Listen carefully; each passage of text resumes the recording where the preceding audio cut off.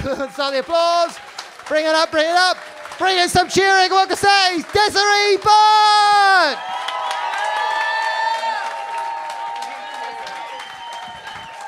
Yes.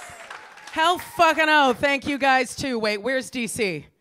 Hey, girl. Hey, America Pride. How, like, just you, congratulations. You fucking escaped that shit. Um, like, no, I mean, you should try to stay. I would say don't try to stay here because they have a show here called Border Force. It's like cops, but for people who are not racist, just xenophobes. And they will hunt you down in your house. I watched it when I came over. They were like, you have to watch this. I just watched hours of Border Force. Like, these people don't give a fuck. They will find me. I will pay you all of my money to stay in this country. I live here now. It's totally worth it. Just always say you're visiting and keep smiling. Uh, if anyone asks anything, you're like, oh my God, I don't know what you're talking about in the most over American voice you can possibly muster. Um, anyway, hi everybody else. This is a comedy show. I should probably uh, talk to you guys. Oh, you're so fucking nice. God damn it, Brighton. Does everybody say that when they come here? You're so lovely. Like, I live in London now, so I work a lot in London. I literally was doing a show a week ago in central London, walking around, like, with, you know, and it, it gets ruder the closer to zone one that you get. It's like the most asshole people. And this guy was like, you know, everyone's in a rush, and I'm trying to rush to get to my show because I'm late, and he's in a rush and he's desperately trying to cut me off. And he like goes right in front of me and elbows me so hard in the tit that I saw stars, right? But then he had the nerve to whirl around and glare at me like I titted him in the elbow. Like that that's not a fucking thing. Like no fight has ever started like, hey buddy! Because if it does, you won that fucking fight, girl. Like, he's gonna be so confused. You won that shit. Um, so I was, okay, so I was in an Uber like uh, about three weeks ago, and I, I heard this song, and I'm certain it is a real song, and it, ex- okay, so you know how whenever you're in an Uber, right? The Uber driver's always trying to get like five stars, so he's always being like, do you need any more water? Here's a hard candy. Do you need a tissue? You're like, fucking leave me alone and get there faster, right? But like, usually for me, they'll try to be like, oh, do you want the radio station on anything? And they'll look in the rear view and sort of silently judge me and put it on Capital FM or some other hip hop kind of oriented station. I'm like, okay, that's fine. I prefer silence, but you'll get your stars, right? So there was this a song that came on, and I think it's trap. I don't know what rap is anymore because I'm 40 now. I don't understand culture anymore. I think it's trap. There's a lot of synth and stuff going on. But the refrain in the chorus, and I'm certain this is it because I heard it twice, was throw your pussy through the roof.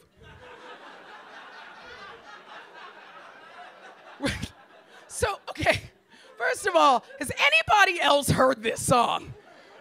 No? Okay, look, can we at least then agree that we all live in a world where that song probably does exist?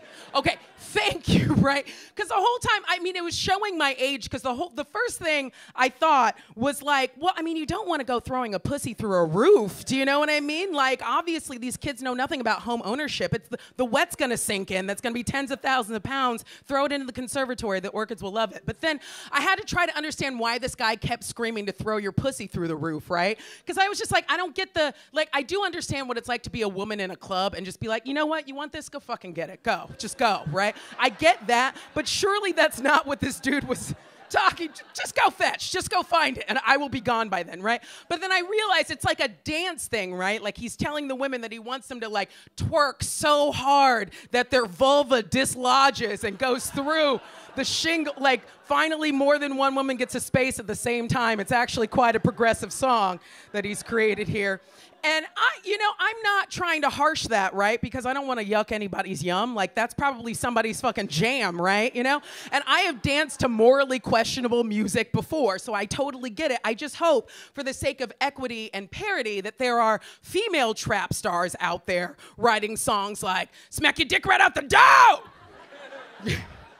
You know, when a guy's being such a gentleman, he just swipes his own schlong right out in front of you so you can get out of the door easier. I don't know.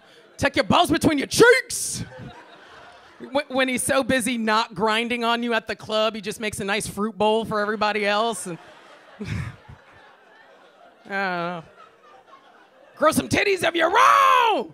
Uh, honestly, that's just about how older men tend to uh, take on man boobs and more estrogen. They start to listen to you more and become a lot more sensitive. I like that about you older guys. Um, I'm definitely in like the older guys segment of my like, uh, uh, life because as I've just mentioned, or will probably mention 30,000 more times, I just turned 40 this year. Um, and I am 40 and have recently re-become single. So I fucked it up, you guys. And um, okay, give us give us a shout uh, tonight if you are single. Okay, so I heard all of the 20 somethings who were excited about it. All right. Give me a shout if you're 30 or over and single. Okay, okay, one dude and a bunch of dismayed women. That sounds accurate. Right? Oh man, it just it's not like cuz the thing is when you're 20, of course you're excited about being single. Everyone wants to fuck you. All right? 20-year-olds, 30-year-olds, 40-year-olds, everybody wants to fuck you. When you're 40, everyone's like, "What happened? What went wrong?" You know, and like, okay, so I don't know if anyone is like me, because obviously live, we live in the age of internet dating and it makes dating weird. Um, have you ever fucked someone just to get rid of them? I heard a scream of acknowledgement back there, girl. Yes. Oh my God. Yes. Sometimes it's just the easiest way to get, you know, because the thing is, if you want to be sure as a woman that you never see a guy again, just fuck him once. He will not call, he will be on the other side of the earth at all times from you. It's a self imposed restraining order that he's implemented. That's a sure shot. Just knock it out. And also, a lot of times, like, you real, like, you realize that the thing is picking up momentum, but it's not going anywhere you want to go. So you're just like, I got to tuck and roll and get out of this car. The easiest way to do that is just to be like, let's race to the finish line. Cool, cool, right?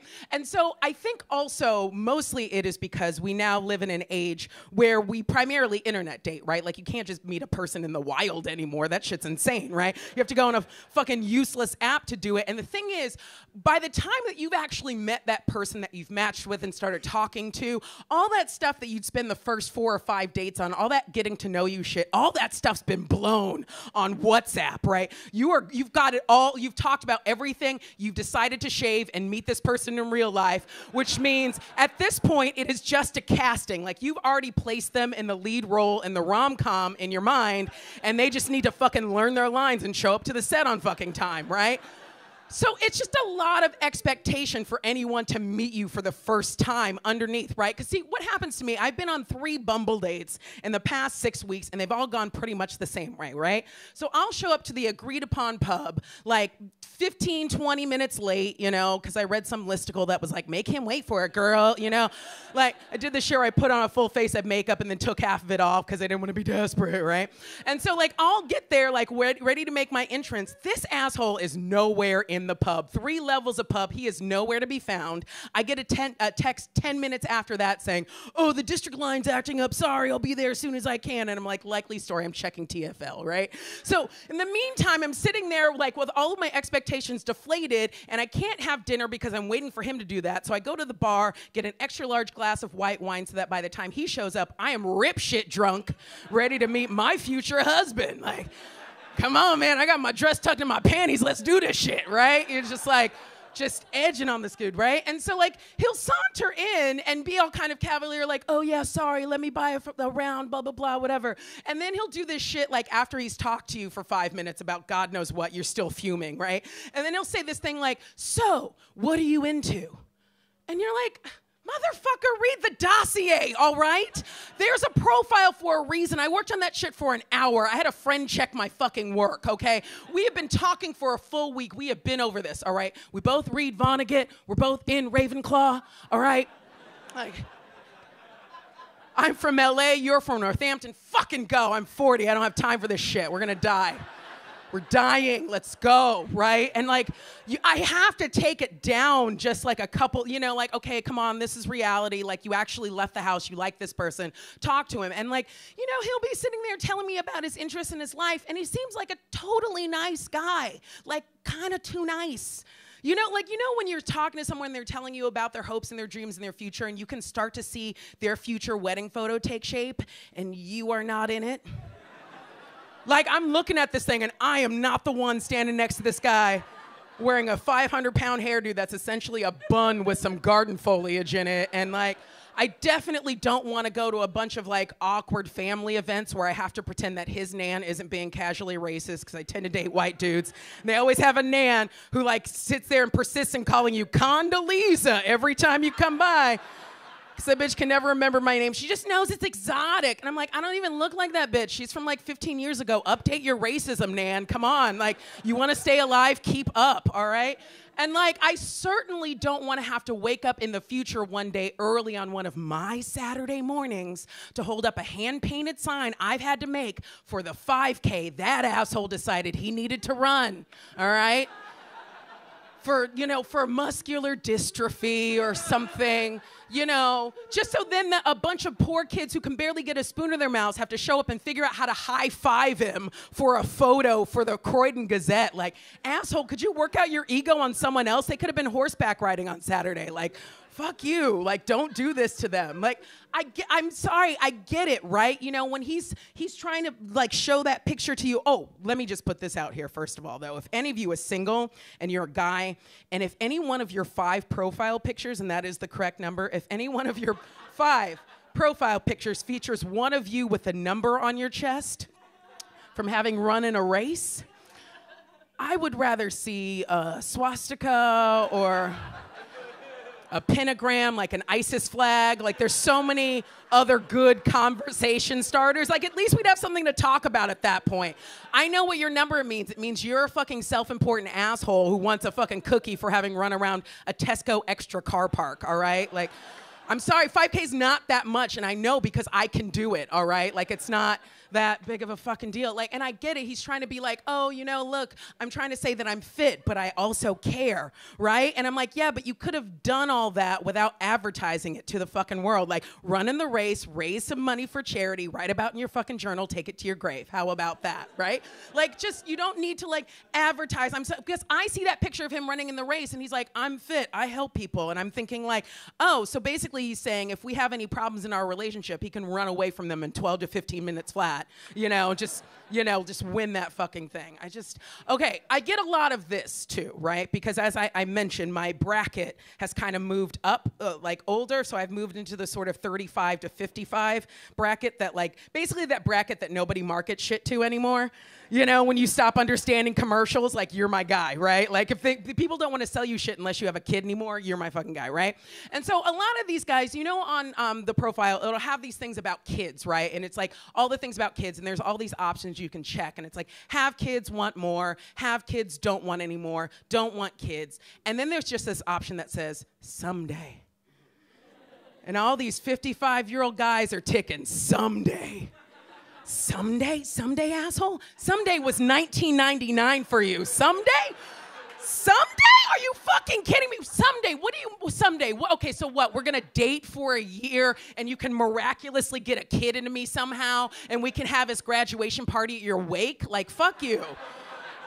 That's fucking rude and just like delusional, right? But like I I don't understand that being in this body because obviously as a guy you get to have someday, right? You you can you can have kids until the day before the day you die, right? Like you can be 91 sitting on a park bench with that permanent boner you have from the heart medication you definitely have been prescribed, right? Just sitting there feeding pigeons and you know, and like this 16 year old skater girl could biff her ollie off the guardrail, land on your dick, and nine months later, baby Tony Hawk's crawling out of her. Like, you.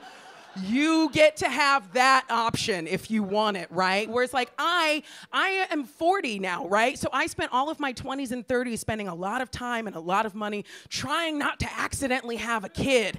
And I am 40 fucking years old. I couldn't accidentally have a kid if I applied myself. Do you know what I mean? Like there's no the only way I could accidentally have a kid is if I was like um if I was just walking down the pavement and then there was a mom who was walking the other direction to me and she had like four or five of those little free range kids running around her. You know, the organic cage free runs that they don't want to rein in, right? And with no spatial awareness whatsoever. And if one of those kids just ran so hard into my crotch that they popped up there like a Mooncup, just like, you know? And then I'd be like, oh, uh, well, uh, ma'am, I think you'll find that possession is nine tenths the law. Um, my DNA's all over this one, so I, I, don't know what to tell you. And she'd be like, you know, fair play. I couldn't handle all five. You get one, right? It's great, you know? And so I just, you know, like I I don't know what the right way to do it is now. There was a way I did it before and that way is gone. And like I've tried meeting people out in the wild and in the raw and that goes fucking awry, okay? Cuz I okay, so I was in a long-term relationship. I moved here for the guy and it was lovely and then it wasn't anymore and it was just all arguments and we lived in Croydon and things got bad, right? So I let you know that's a sure sign that you're kind of going down the anyway. So I like so you know we break up and then like it was right kind of before Halloween. So when I finally got a chance to move, it was right before then. And so my friends all stepped up and they were like, "Okay, Desiree, like it's your time. We're going out this weekend. We're all dressing up as sexy whatever the fuck with glitter on. All right, we're going to a Halloween party. You're gonna get laid. It's gonna be great." And I was like, "Great, right?" And I knew it was my night too, because you know that thing, ladies, where you're like putting on makeup in the bathroom and you're drinking wine and getting yourself ready and you see yourself in the mirror and you're like, "Oh fuck." I'm gonna get fucked tonight. Like, you know, when you can just sense it? Like, I'm like, I don't know if I'm ovulating or the moon is full, but my face is symmetrical as shit right now. Like, this is on like if you want it that is your night. You got it right? And i knew it was mine right? So we go out and you know and at this point i just need to get some like palate cleansing dick like some ginger. Just start over shake the etch a sketch dick right? You know like just get back on the old horse. So i walk into the party with my friends and i see the dude right away out of the corner of my eye and i know it's him because i see him and he's like a mid 40s white dude with a ponytail yeah, I know. And I was like, oh, look, he's making bad life choices too. Okay, I see. I see you. I seen it. All right, I'll see you in about 45 minutes, you know. And I didn't even have to introduce myself because I went to put my bag and my coat down. I turned around, he was right fucking here. He was like, "Hello, my name's Liam. How are you?" I'm like, "Yes, you know, I know what we're going to do tonight. Could you pl- just enjoy the party? I'll see you in an hour. Fuck, you know, go right. Let me at least walk in the door." So a good hour goes by, and then he circles back around, and we start chatting. And like, you know, we're drinking all the drinks, whatever. My friends kind of keep coming over, bringing drinks and whispering to me, and they're like, "Hey, Des, how's it going?" And I'm like, "Great," you know. And they're like, "Hey, Des, are you sure you don't want us to help you out? This guy seems like a creep." And I'm like, "Back off, Stephanie." I know what I am doing. I will cry to you about this on Tuesday, all right? Shit, I need something to talk about in therapy this week. Fuck off, you know? You know when you're just going through all the warning signs and they're flipping over the hood of the car and you're like, "Wee, it's Thelma and Louise, let's go!" Right? Like it was one of those nights. I was like, "Get out of the way! I know how I'm gonna ruin this week." Okay, so you know, we get, we're like 11 drinks deep with this guy at this point, right? And I'm like, okay, you've done the very British thing and got me so drunk, none of this will be any good. Let we, let's go home, right? So we go, we go back to his place, right? We get an Uber back to his place, and I have to give the guy kudos, right? As he pulled the most astounding white boy move I have ever seen pulled in my life because he gave me another drink we came in. I sat down, and from nowhere, he produced a guitar. And that was amazing. There was just an audible groan of like, oh, he is one of ours, isn't he? Fuck. Uh, we do be doing that, you know? Fair. I mean, you know, and he started serenading me with Pearl Jam songs on his guitar. Like he really went into it. He was like, "Can't find a better man." why would he choose that specific song? Like, is he trying to rub it in? I swear to God, it was that song. And he went full tilt, you know, when he's like, he's like, her, oh, hey. You remember in the 90s where dudes would sing and you couldn't tell if they were having a feeling or a shit, but you wish they just like, get it over with, you know, let's uh, hey, freelance, freelance. And I'm like, okay, cool. You sung me the song of your people. Can we please go bang now, right? So, so we go into the bedroom, right? And so, you know, like things are getting hot and heavy, clothes are coming off. I do, I perform a little bit of my job. I'll be honest with you guys. I just wanted to show I was enthusiastic to be employed at Liam Industries that evening. You know, say these are my special skills, just so you know. And I mention this gratuitous detail only because I was there for like a minute, two minutes tops, and this guy came in my eye. In my eye! oh my God. I like, dude, I was just, the thing is, if this ever happens to you, it is not only extremely painful, it is also so embarrassing. Like, I am 40 years old, you guys. I made it through nearly two decades of fucking not once in the eyes, not once. Apparently, I was the Muhammad Ali of blowjobs or something because I was like, no, no, no, no, no, no, no, way, nah that's right. Those are your kids. You put them on your wall, mate. I'm not the one. Right? And then I let my guard down for one moment and bam, right in the eye socket, right? And if this ever happens to you, right? Like, gentlemen, I know you know your stuff smells like bleach, but it burns like it too. It burns so bad. It is a chemical burn. Like, it just grows and it gnaws at your eye socket. And like, I'm sitting there and I'm trying to still be cute, right? Because I think I can save this moment. So I'm just like doing this and fanning my eye like I've just won a Miss America pageant or something. And I'm like, I can't believe this is happening to me right now. But inside my mind, I'm like, oh my God, I need fucking medical assistance, right? And he's all like, what happened? And I mean, what do you mean, what happened? You bust a nut in my eye, Liam. Get an eye wash station immediately. There's been an accident on the playground. Get a cup of milk. I don't know what you do for this, but run, okay? And so he's like, uh, and I'm like, uh, around a house I do not recognize, right? I finally find the bathroom and I'm just cupping lukewarm water into my eye for five solid minutes, right? Okay. So then I, at this point, I can see again, like I have contacts. The shit's behind the contacts. Like they're glued to my skull, right? And I'm going through every nightmare scenario. I walk back into the room. This guy's asleep. like, like, like I just came real hard asleep. Like the like, mm, mm, like asleep, right? Yeah, apparently there was recoil on that nutty bus and it just knocked him into the headboard and into the fetal position or something. So, like, at this point, it's four in the morning. There's a sliver of bed for me to lay on like a sarcophagus until the sun comes up and I can figure out what to do. And so I had to spend the entire rest of that weekend Googling eye AIDS and eye herpes.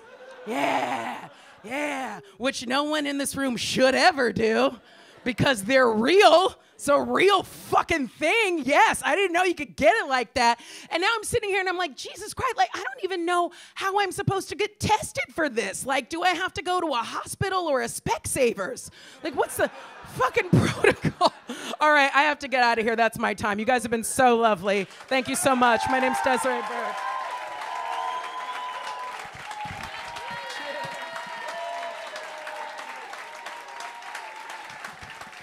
Desiree Burch!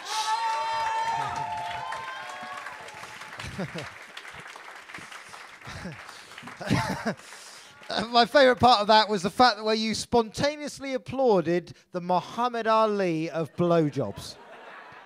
As an audience, that's where you decided, yeah! Now we're in that story. That was great. Give Desiree another round of applause. She was great. Have you had a good night? A couple of things. Um, I've been asked by about 17 different people to wish Rihanna a round of uh, happy birthday. It's her birthday. Give her a round of applause. Wish her a happy birthday. Give Dave another round of applause and all the Komedia staff that make this happen. This gig is on the last Thursday of every month. It's always absolutely fucking brilliant. The headliner next month is somebody called Lauren Pattison, who's won all the awards. It's been absolutely bloody brilliant. Um, and so do come along for that. Buy you can. I think I think you can buy a ticket as you leave today. But it's fucking great. This was a great night, was it not? Yeah and you get the satisfaction of seeing some of the newest acts before they become absolutely fucking huge and you can't buy tickets for them anymore. Um, and so, uh, listen, give a round of applause to all the acts you've seen. I've been Barry, you've been fucking awesome. DC, Poland, uh, Belgium, Light, and um, I'll see you again. Thanks so much for coming. Good night.